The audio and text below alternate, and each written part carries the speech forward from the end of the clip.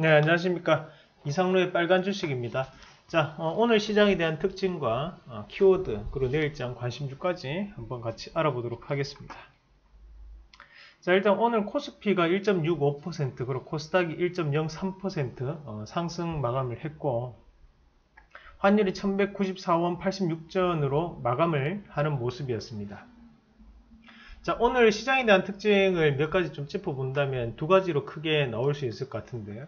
자, 첫 번째는 이제 수소차 관련주들이 오늘 큰 폭의 상승세를 기록하는 모습이었습니다. 그에 따른 희망과 기대감, 그리고 수출까지 이루어진다는 뉴스가 있었고, 자, 두 번째는 바로 OLED 관련주들, 디스플레이 장비주들이 어, 바뀌는 모습이었는데, 어, 요 내용은 관련주는 저희가 이제 금요일, 금요일 유튜브를 통해서 이 OLED 관련주 디스플레이 장비주들을 한번 소개를 해 드렸을 겁니다. 그래서 이쪽을 봐야 된다고 말씀을 드렸었는데 그 내용을 다시 한번 더 보시고요. 오늘은 어, 종목군들에 대한 흐름을 한번 짚어보면서 말씀을 드리도록 하겠고 이 OLED 관련주들이 바뀌었던 이유는 바로 스마트폰에 대한 업황 변화로 이루어지면서 바뀌고 있다라는 내용인데요. 그 부분까지 말씀을 드리도록 하겠습니다. 어, 일단은 오늘 코스피와 코스닥이 오늘 1%대 상승 마감을 했는데 자, 오늘 상승에 대한 부분의 원동력을 우리가 한번 살펴보셔야 될 것 같습니다. 그러면 일단 기본적으로 지금 시장에서 눈여겨봐야 되는 것이 자 계속적으로 강조를 해드렸던 것이 바로 기간에 대한 매수라는 부분이거든요. 그러나 지금 현재 외국인들은 꾸준한 매도를 보이고 있기 때문에 이 외국인들을 눈여겨보실 필요는 전혀 없습니다. 어, 어차피 지금 이 외국인들은 어, 주인공이 아니라는 거죠. 자, 외국인들은 어, 매수를 하게 되면 대형주 위주의 시장이 펼쳐지는 반면에 기관이 주도를 하는 시장에서는 중소형주, 개별주 움직임이 훨씬 더 많이 나타납니다. 일단 기본적으로 외국인들은 캐파가 크기 때문에 대형주를 많이 움직일 수 있고요. 대신에 지수를 잡아줄 수 있고 거기에 대해서 이제 중소형 개별주를 만져줄 수 있는 것은 기관 투자자라고 생각하셔야 돼요. 기관이 아무리 대형주를 많이 사더라도 어, 이 대형주는 올라가지는 않거든요. 왜냐하면 삼성전자에 대한 지분 구조를 볼 때도 삼성전자에 대한 지분 자체를 보유하고 있는 것은 자 볼까요? 자, 어때요? 이 외국인들이 이미 어, 절반보다 그 이상을 지금 외국인들이 보유를 하고 있는 시점이라는 거죠. 근데 여기에서 어, 이 외국인들이 사지 않고 어, 팔았을 때 지수가 움직일 수 있을까요? 또는 삼성이 움직일 수 있을까요? 그건 아니라고 봐야 되거든요. 그래서 그런 부분까지 한번 참고하시면서 지금 현재 시장 기관이 주도를 하고 있기 때문에 중소형 개별주에 대한 움직임이 좋고 이런 것들이 바로 우리 개인 투자자들에게는 상당한 기회가 될 수 있다.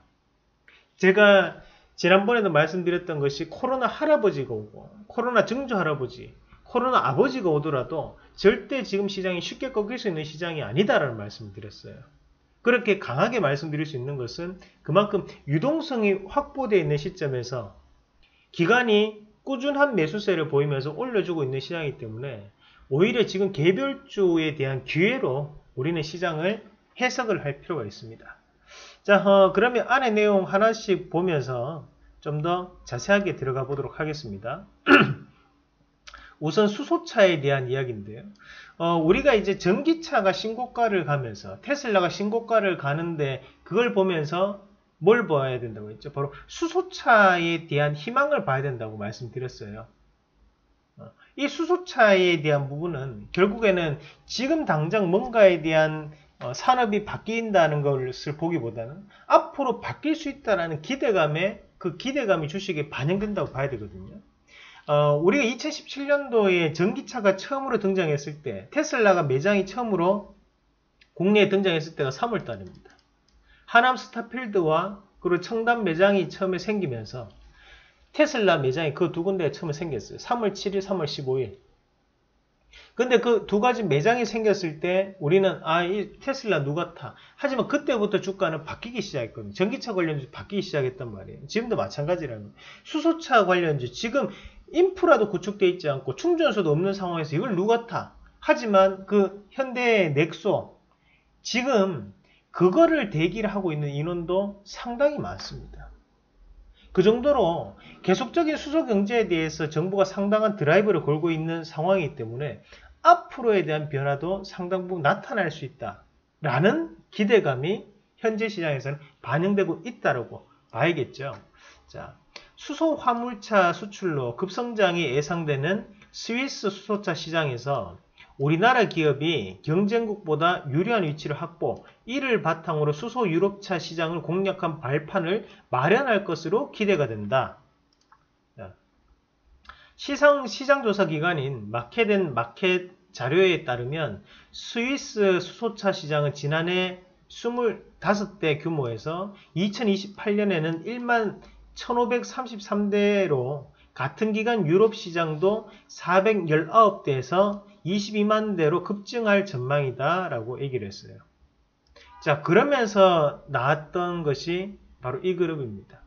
자 수소 트럭이 스위스로 수출을 개시를 했다라는 거고 해외 친환경 상용차 시장을 공략을 했다. 자 여기서 나오는 이 상용차 상용차는 무슨 의미라고 했습니까? 제가 사업용 자동차 음. 사업용 자동차예요. 사업용 자동차가 어, 우리가 트럭이 될 수도 있고 또는 봉고, 버스 같은 것들을 다 포함해서 우리가 상용차라고 합니다.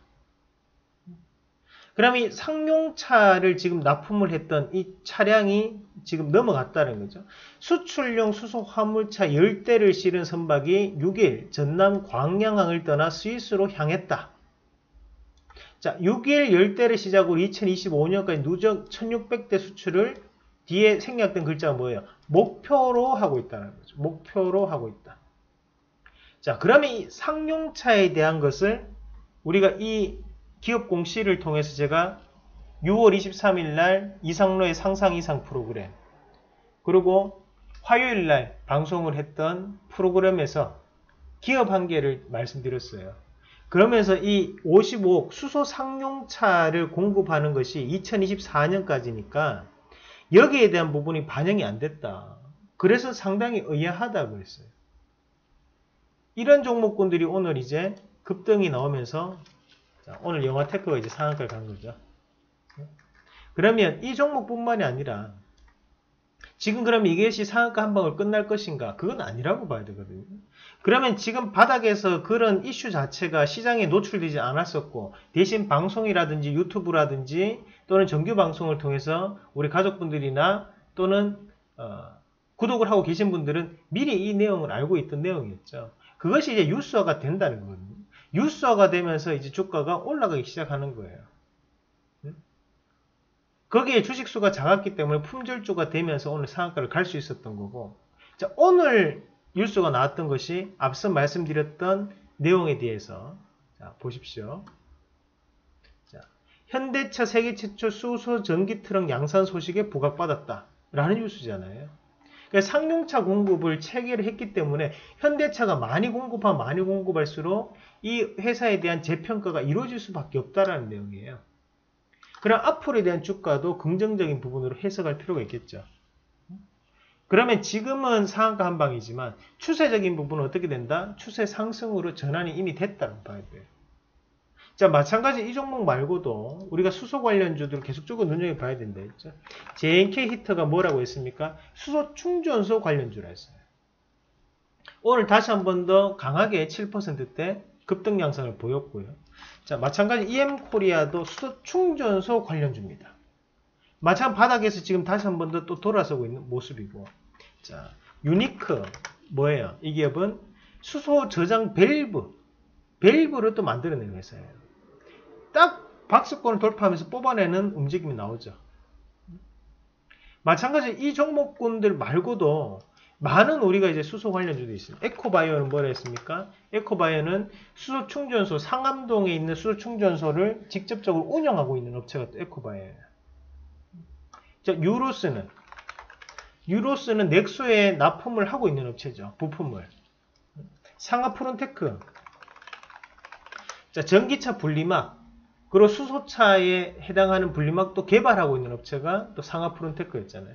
이런 흐름 자체가 쉽게 꺼지진 않는다. 대신에 가장 강한 상승을 나타내고 있는 것은 상하 프론테크죠. 왜? 상하 프론테크는 이미 이미 이 박수권을 돌파했던 것이 2010, 2020년 6월 달입니다. 그러면 이것이 주도주라고 봐야 돼요. 이것이 가장 먼저 달려가고 있는 종목군이고 그럼 그 후발주자를 지금 달려가고 있는 종목군들이 이제 하나씩 드러나기 시작하는 거예요. 그러니까 히터도 자 언제 돌파해서 올라갔습니까? 여기 언제예요? 이 올라갔던 것이 6월 22일이에요. 그 다음 타라는 거죠 지금. 그 다음 타라는 거고요. 어, 그럼 지금 EM코리아는 자, EM코리아도 바닥권역에서 벗어나면서 올라가기 시작하는데 자, 그런 자리가 지금 요 자리거든요. 그러니까 얘는 언제예요? 6월 20일 얘도 똑같은 6월 22일이에요. 그러니까 지금 오늘 이제 유니크 이런 기업들은 이제 또 뽑아서 올려줘요. 이제 이제 그럼 이 자리 뚫고 올라가니까 이번에 7월 달에 바뀌는 거죠. 우리가 일전에 일진 머티리얼즈 언제 돌파해서 올라갔다고요? 언제 여기서 돌파해서 올라갔다 했어요? 그때. 자, 2017년 5월 달부터 주가가 올라가기 시작했어요. 자, 포스코 케미칼 언제 올라갔다 했죠? 마찬가지로 여기서 이 자리에서 돌파해서 올라갔던 2017년 7월 달입니다. 그죠? 자, 그럼 에코프로 에코프로가 언제 올라가기 시작했습니까? 2017년 5월 달이에요. 자, 코스모 화학이 언제였어요? 코스모 화학이 2017년 6월 달입니다. 삼성 SDI 자, 하방에서 들어올렸던 자리가 언제예요? 2017년 3월 달이에요. 자, 그럼 결국에는 이렇게 전체적인 업종군에 대한 종목군들이 같이 쭉 올라가는 것은 뭐라고 해서 추세적 상승으로 연결되잖아요. 그러니까 지금 수소차에 대한 상승 자체도 추세적 상승으로 좀 더 이어질 가능성이 상당히 높은 거죠. 대신에 대신에 먼저 지금 뽑아냈던 것이 이제 상아프론테크라든지 그죠? 그리고 JNK 히터라든지 이런 것들이 앞서서 먼저 가는 거고 그러니까 지금 영화 테크나 이런 것들도 이제 바닥에서 돌아서면서 올라가기 시작했기 때문에 6월 달부터 돌아서 올라갔단 말이에요. 그러면 이것이 얘네들도 비슷한 시기적인 부분에서 좀 더 상승이 나타날 가능성이 높다. 이 종목군들 말고도 많은 종목군들이 있죠. 그런 것들을 우리가 유튜브를 통해서도 많이 말씀을 드렸기 때문에 그 내용들을 여러분들이 다시 한 번 더 확인하시면서 점검하는 전략이 좀 필요합니다. 그럼 거기에 또 우리가 지금 현재까지 수차 관련주 안에서는 대형주 한마디로 엄청 큰 종목이 없었거든요. 하지만 이제는 또 그런 큰 종목군들에 대한 변화가 나타날 가능성이 높아요. 거기에 국산화 키워드도 같이 있는 종목군들도 있어요. 그러니까 그런 것들이 앞으로에 대한 주가가 상당 부분 변할 수 있습니다. 자, 주가는 항상 경험의 연속이에요. 예전에 나왔던 내용이 다시 한번 되풀이 되는 거거든요. 그럼 그런 되풀이 되는 과정 안에서 이 기업은 열심히 일을 하고 있었던 거고 그 일을 했던 부분 자체가 바로 재료로 나타나기 시작하는 시기입니다. 자, 수소차 관련주가 오늘 상한가 같다고 해서 끝나는 게 아니라는 거죠. 어, 조정은 나올지언정 이것이 예전처럼 다시 한번 추세적 하락으로 넘어가지는 않는다. 미래를 보고 산업에 투자하자라는 말씀 다시 한 번 더 드리겠고 자 다음 그림도 한번 같이 보면서 설명을 드리겠습니다. 네. 자 우리가 앞서서 했던 이제 OLED 관련주를 잠깐 보셔야 되는데 자 오늘 디스플레이 장비 OLED 관련주들이 대부분 다 반등에 성공하는 모습이었어요. 자 종목군들을 같이 한번 보시면 자 일단은 간략하게 정리된 것은 금요일 유튜브를 참고하셔서 보시면 되고 우리가 SNU SNU가 오늘 자, 4%가 올랐습니다. 그리고 ICD 증착기 관련 주죠. 7%가 반등에 성공을 하는 모습이었고 자 마찬가지로 이제 비아트론 비아트론은 오늘 11%가 떴고요. AP 시스템 자, 바닥에서 다시 3.5% 야스 5.6% 대형 어, 증착기죠. 대형 디스플레이 관련이죠. SFA 자동화죠. 2.7% 원익 IPS 1.1% 필옵틱스 필옵틱스 오늘 조금 빠졌네요.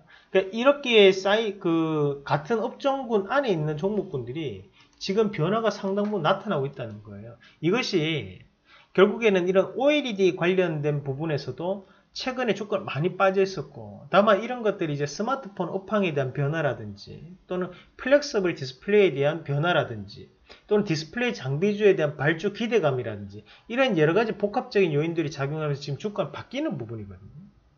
그럼 이렇게 바뀔 수 있는 것을 우리가 미리 조금 재료를 좀 선점할 필요가 있습니다.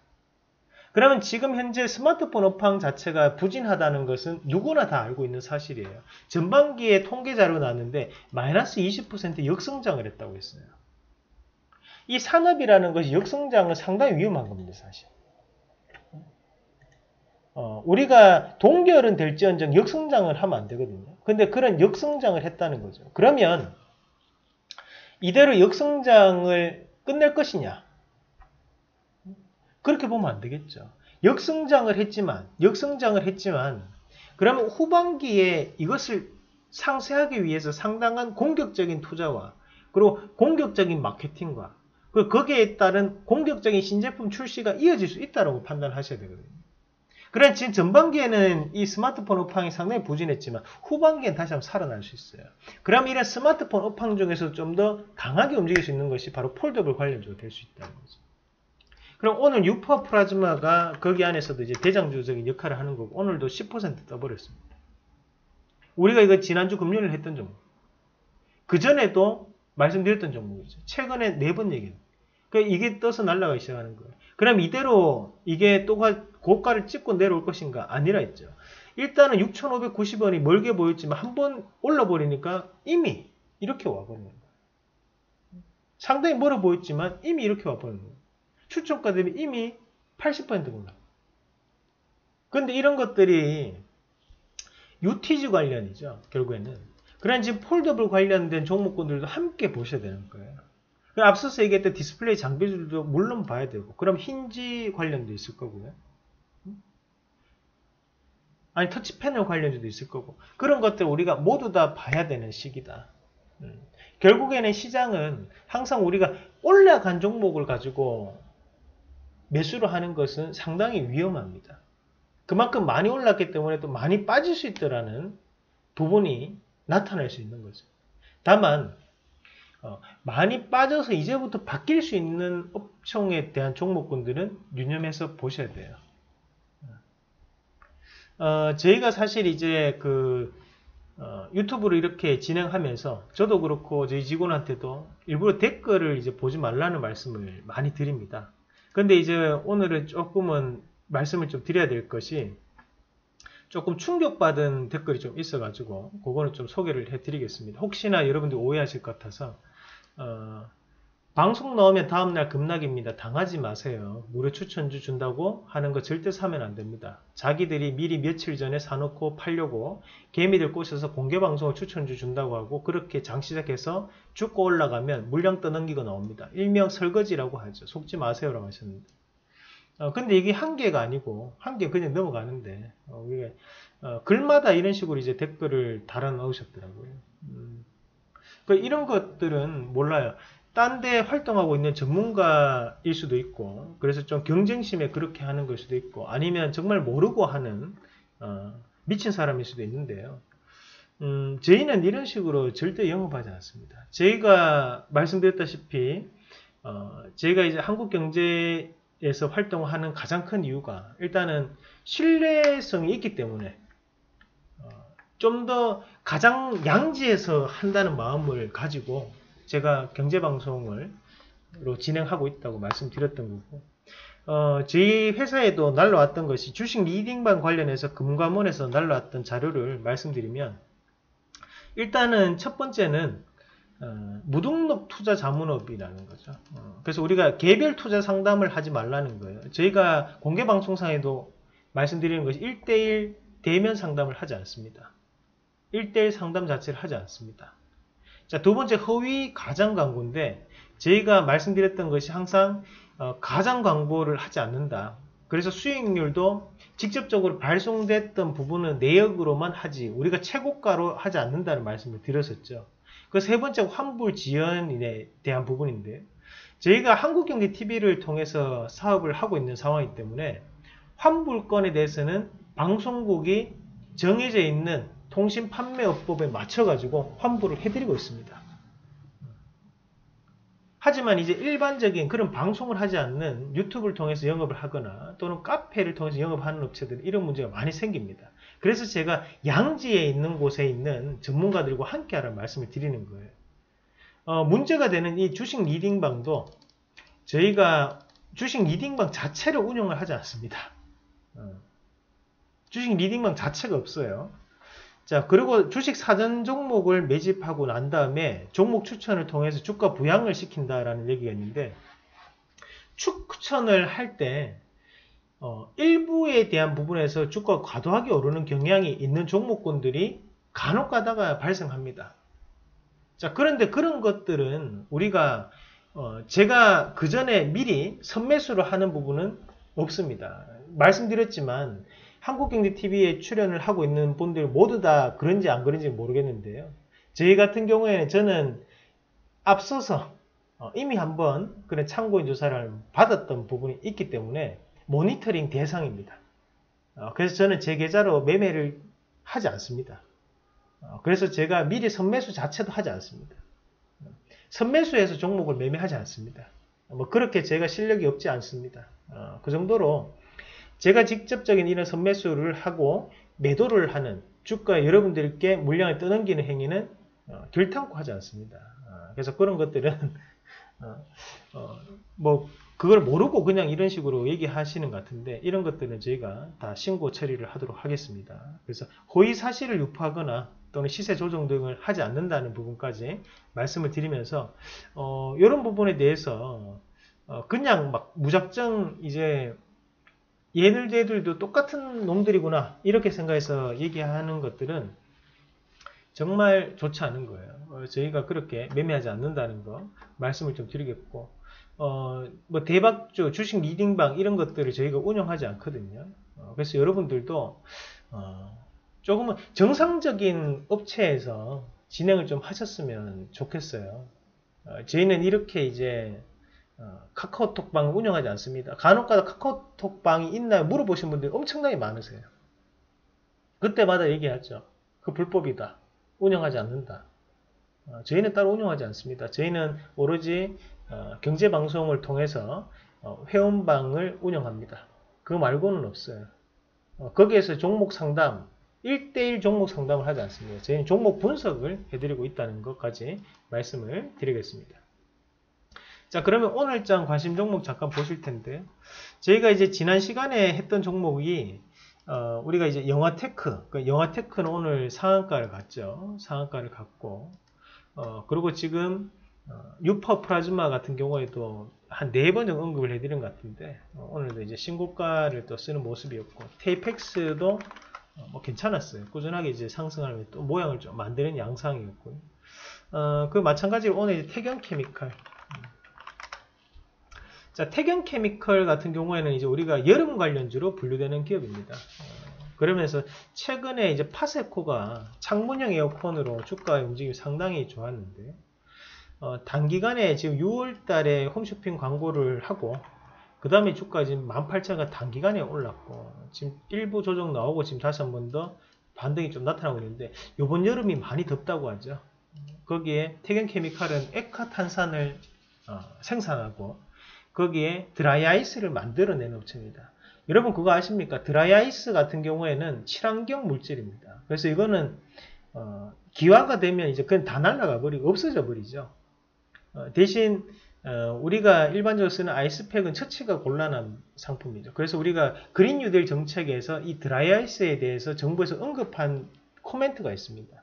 그런 코멘트에 대한 주가가 긍정적으로 반영할 가능성이 좀 높다라고 보고요. 그 추가적인 상승이 좀 더 이루어질 가능성에 대해서 말씀을 드리겠고, 자 마찬가지로 이제 SKC 솔믹스 같은 경우에 이제 반도체 웨이퍼를 생산하는 업체입니다. 어, 우리가 이제 이 사파이어 잉곳이라고 해가지고 길다란 이런 잉곳을 만들어내는데 이것을 이렇게 이제 자릅니다. 어, 요 기업도 한번 설명을 해드렸죠. 자르면 여기에 대해서 이제 판때기가 이렇게 뜹니다. 여기 이 판에 이제 산화 공정을 거치고 어, 여기 회로도를 입히고 난 다음에 이제 반도체를 만들어내는 판때기거든요. 어, 그래서 이 SKC 솔믹스 같은 경우에 그에 따른 납품이 이루어지는 업체고요. 이미 주가는 바뀌었다고 보고 좀 더 상승이 강하게 나타나야 되니까 그렇게 말씀을 드리겠고 자 그리고 이제 그 세 번째 종목이 우리가 이제 넷게임즈 자 넷게임즈 같은 경우에는 어, 이 업체가 이제 넥슨에 대한 넥슨이 지분을 보유하고 있는 업체고요. 어, 구글 안드로이드 어플에서 구글 플레이 스토어에 들어가시면 이제 A4라는 게임이 있습니다. 자, 그 게임을 만든 업체가 바로 넷게임즈죠. 어, 그래서 그에 따른 넷게임즈가 보면 지금 현재 안드로이드 어플 안에서 매출 9위 정도를 기록하는 업체거든요. 어, 그래서 그런 부분 자체를 감안한다면 게임에 대한 성장이 결국에는 주가에 대한 성장으로 드러날 가능성이 높다. 어, 그렇게 보고 어, 좀 관심 있게 지켜봐야 될 것 같고 어, 그래서 이제 V4, V4라는 게임이죠. 어, 그래서 여기에 대한 부분에서에 대한 주가 변화 기대를 한번 해보도록 하겠고요. 제가 방금 A4라고 했나요? 어, 말실수했는 것 같아요. V4입니다. 자, 그리고 이제 넥슨 효과. 이 넥슨이 지금 현재 지분을 어, 보면 56.3%를 보유하고 있습니다. 그래서 어, 우리 2019년도에 이슈가 됐던 것은 이 넥슨이 지분을 보유를 해가지고 뭐 매각에 대한 이슈가 이슈가 됐었는데 어, 이번에는 이제 그 실적에 대한 이슈가 될 수 있는 가능성이 높기 때문에 어, 마찬가지로 제2의 NC소프트 같은 모습을 한번 기대해 보자. NC소프트가 모바일로 리니지를 어, 연동하면서 주가가 엄청나게 올랐던 것처럼 마찬가지로 넷게임즈에 대한 상승도 좀 더 이어질 가능성이 높다. 언택트 사회의 직접적인 수혜주로 다가올 가능성에 대해서 말씀을 드리도록 하겠습니다. 자, 그럼 오늘 어, 추천에 대한 종목군들도 한번 같이 보셨고요. 어, 자, 그리고 어, 요거는 이제 저희 실제 계좌 내역이고 어, 그래서 많은 분들이 좀 궁금해 하시는 것 같아가지고 저희 요거는 저희 어, 딸 딸 계좌, 이건 이제 아버지 계좌인데, 음, 뭐 계좌가 사실 이제 빠질 때도 있고 오를 때도 있죠. 예, 다행히 이제 운 좋게도 어, 이제 저희가 2,700만 원으로 지금 현재 어, 이제 3,600만 원 수익이 났습니다. 어, 그래서 수익률 따져 133%. 뭐 저도 아시겠지만 성향 자체가 장기 투자 성향이 안 됩니다. 어, 뭐 회전율이 상당히 높게 나타나는 부분이고 어, 여기 이제 마지막에 제가 1,500만 빼가지고 여기 금액이 좀 낮아졌고요. 어, 이건 이제 1,000만원짜리가 이제 2,000만원으로 이렇게 바뀌었죠. 어, 기간은 이게 이제 100일에 대한 기적이 되는 부분이고 100일 동안 운영을 했고 음, 저희가 이제 현재 그 얼마 전에 100일 주식 투자 100일의 기적이라는 어, 이벤트를 했었는데 어, 말보다는 이제 한 번의 행동으로 보여드리는 게 맞다라고 생각해서 경험상 뭐 저도 이제 연습 삼아 이제 큰 금액으로 하는 것보다는 작은 금액으로 이렇게 저렇게 한번 했던 거를 보여드리는 거고 요거는 다음에 로그인해서 어 제가 직접적으로 어 인증을 한번 해 드리도록 하겠습니다. 그래서 그거를 유튜브 영상으로 뭐 올리든지 뭐 여러 가지 방법으로 어 실제 인증샷까지 제가 한번 보여드리도록 하겠고요 어, 지금 현재 이제 문자 서비스 라이브 방송에 대한 할인 이벤트가 어, 진행을 하고 있습니다. 어, 상시 이벤트를 하고 있으니까 어, 야 이거 다 뻥이야. 그렇게 마구잡이로 얘기하지 마시고요. 이렇게 만들 때까지 엄청난 노력이 필요한 거 다들 아시죠? 어, 그런 노력을 좋게 평가를 해주셨으면 좋겠어요. 그냥 아까 사실 이런 뭐랄까 이제 그냥 무작정 그냥 안 좋게만 얘기하는 것은 상대방에게는 또 상당한 상처가 됩니다. 어, 정당하게 뭔가를 이제 이유를 갖다 붙이면서 얘기를 하시면 거기에 답변을 할 수 있는데 이거는 뭐 어, 가치가 없죠. 어, 그래서 저런 것들은 저희가 꼭 신고를 하도록 하겠습니다.